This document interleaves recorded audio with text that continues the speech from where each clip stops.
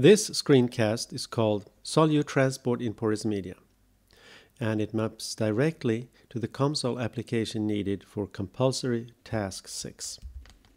Context is the following. Sometimes pollutants reach the groundwater, for example, from above, and then it follows a groundwater flow, and in many cases you're interested in how the concentration will develop in any point in space with time. The theory that I'm going to go through here is the theoretical transport model, which is a partial differential equation with respect to space and with respect to time. I'm going to go through the notation in COMSOL. I'm going to run an example with solute transport in porous media. And in COMSOL, I'm going to show how you set up the basic model structure using the model wizard, how you define the geometry, how you set all the parameters, how you do the meshing, which means that you define how COMSOL will make the calculation. You make a study, which means actually you perform the simulation, and you look at the results. The theory incorporates four different processes, all merged together in one equation. One process is advection. Advection means that a substance follows the water, and the water itself moves with convection. The second process is dispersion, which means that some water packages will move faster than other water packages and this will cause a distribution of travel times for the pollutant in the aquifer caused by the heterogeneity of the soil. Then there's a chemical reaction, which is described by a kinetic equation. And finally, adsorption to the soil, which means that a contaminant may spend some of its time tied to the solid phase and some time in the mobile water. The equation needed to describe all this is the following, and this is equation 9.24 in the compendium. On the left hand side, we have the change in concentration with time at a certain point in space depends on the advective term quantified by the flow velocity, which is in meter per unit time, and the concentration gradient. The second term is a dispersion, where the dispersion coefficient E times the second derivative of the concentration with space. And finally, we have the kinetic equation R, which describes the chemical reaction. On the left-hand side, we have the retardation factor, which describes the sorption to the soil. And the three parameters are that are needed is Kd, which is the distribution coefficient, rho, which is the density of the soil, eta, which is the porosity of the soil. A value of 1 means that there's no solid. A value of 0.5 means that the volume is occupied half with water, half with solids. Absorption deals with the fact that some material will be sorbed to the solid, while some will be in the solute. And often there's a direct proportionality the more you have in the solute, the more you have on the soil. And the proportionality constant is Kd. And the unit, which is a bit hard to interpret, is cubic meter per kilogram. So we have four processes and we have the equation in the compendium. Now, how does that look in COMSOL? Well, it looks like this. Looks very, very similar, of course, but we see some differences. First, we see that KD is called KPC in COMSOL. Rho is called rho. And the porosity, which is eta in the compendium, is epsilon in COMSOL. It's a bit more tricky with the velocity. Here we have the velocity in meter per second, but in COMSOL, the value you should enter is the volumetric flow rate. That is the Darcy velocity in cubic meter per square meter and unit time, which means that in fact this term includes the porosity, but you don't really see it in the model. When it comes to the dispersion, it's E in the compendium and it's D, D in COMSOL. The example I'm going to run is the following. At a certain point in time, a pollutant enters a groundwater aquifer in this case from left and flows to the right. And the question is, how will the concentration of the pollutant change with time? So we have a volumetric flow of water coming in, and that has some pollutant in it, and the concentration is said to be 1. And then we're interested in what's the concentration in various places at various times. And in fact, I'm going to look at a place right here and a place right there. When it comes to the various processes, the soil density will be set to 1,700 kilograms per cubic meter, the porosity to 0.4, Kd will be 10 to the minus third, the dispersion coefficient will be 1, and we'll have a second order reaction with respect to A, and with the rate equation R equals 0.1 times the concentration of A squared. So what I'm going to do now is to set up the basic model structure using the model wizard. Going to define the geometry, set all the parameters, do the meshing, so study and look at the results. Here we have a blank COMSOL window. And the first thing you do with a model wizard is to select the space dimension. And as you remember, we had something that was 10 long and 1 high, and that is two dimensions. So it's a 2D, and the model I'm going to use is found in the chemical species transport module, and we find it right there, species transport in porous media.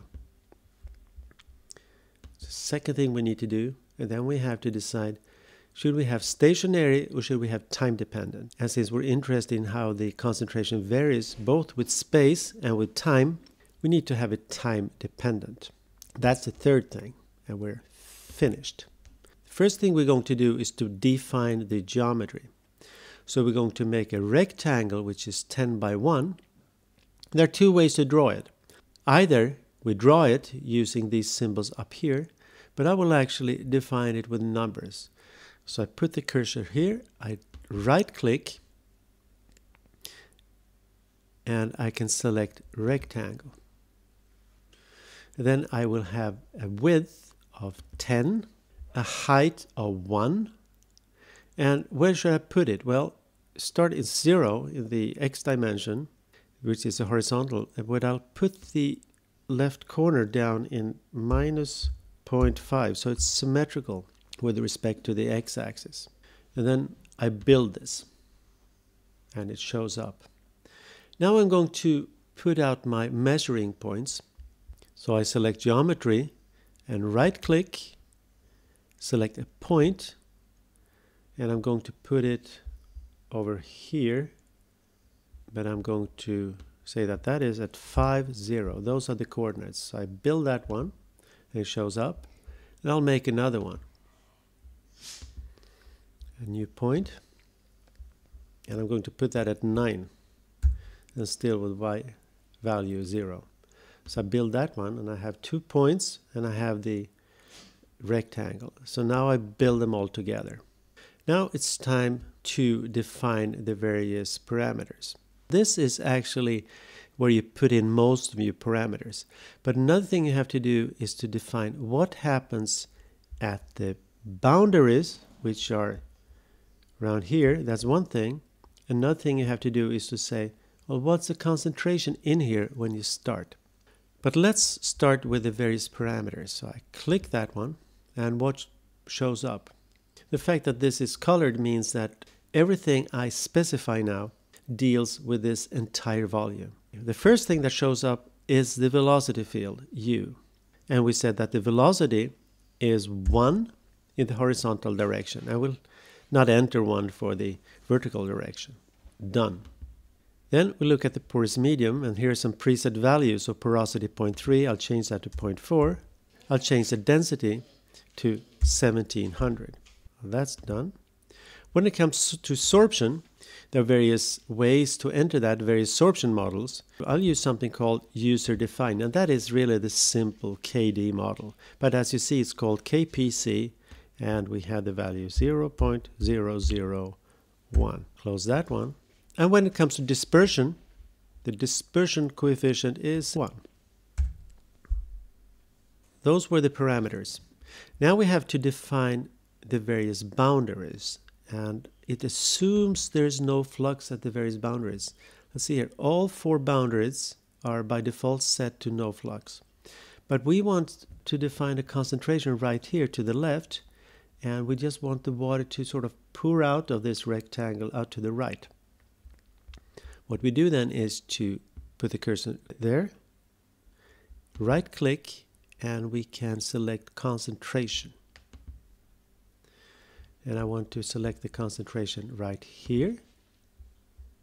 Add that.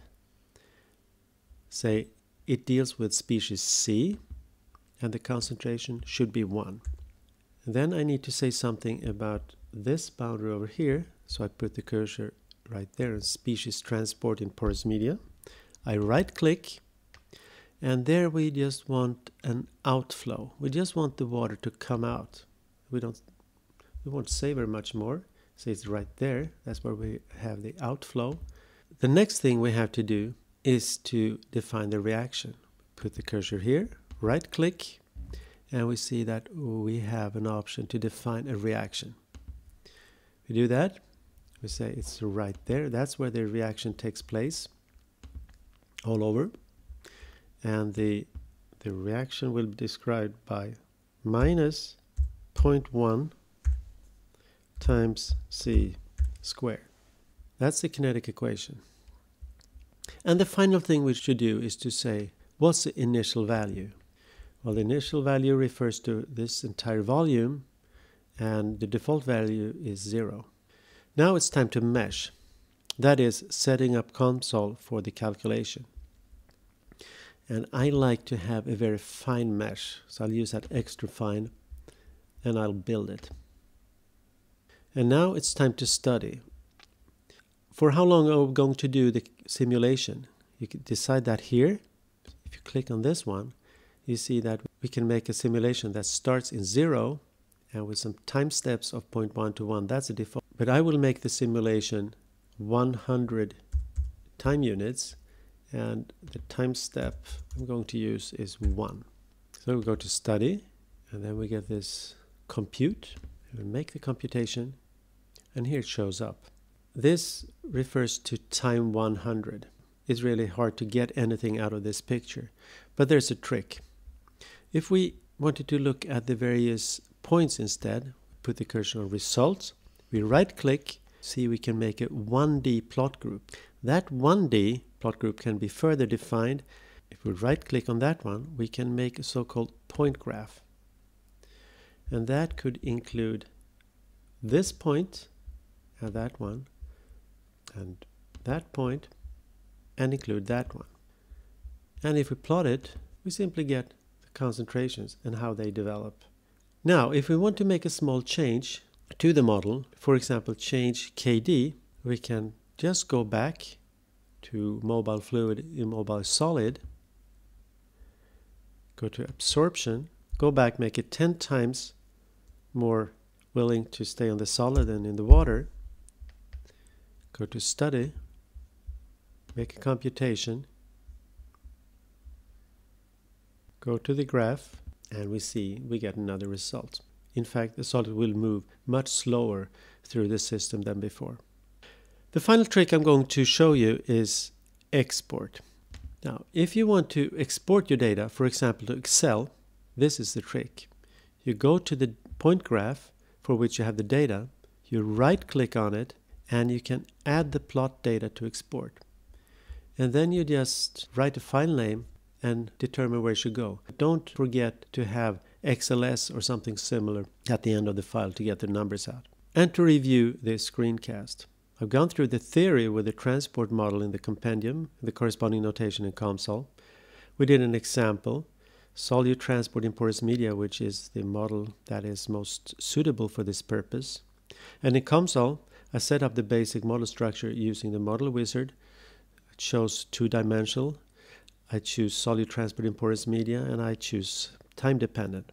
And I also built it. I set all the parameters, I did the meshing, and then made the computation by clicking study. And then finally, we looked at the results, including making the nice point graphs and export results to Excel. Thank you very much.